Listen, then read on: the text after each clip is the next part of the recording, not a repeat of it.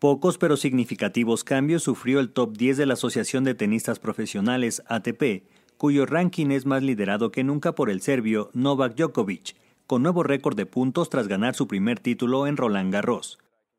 Luego de conquistar el único Grand Slam que faltaba en sus vitrinas, el tenista rompió su propia marca de unidades en el escalafón mundial y a partir de este lunes presume 16.950 puntos, más de 8.000 de ventaja sobre su principal escolta y víctima final en París, el británico Andy Murray. La temporada pasada la corona en el Masters 1000 de Shanghái le valió para establecer el récord en 16.785 y ahora el mismo Joker lo superó en el marco de otras hazañas como ser el primer tenista en superar los 100 millones de dólares en premios. Notimex.